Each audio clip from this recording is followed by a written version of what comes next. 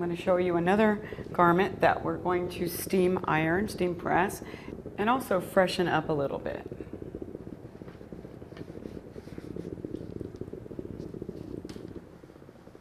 It's just been sitting in a closet. It needs to be just freshened up a little bit.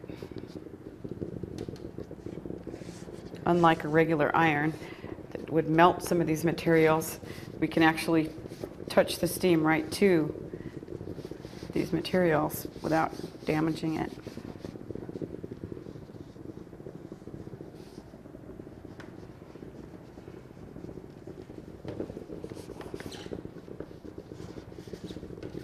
All right.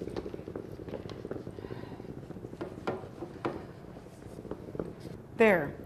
You've basically seen what we can do with this jacket and there you go. In our next segment, you'll see me doing a garment that's a different material.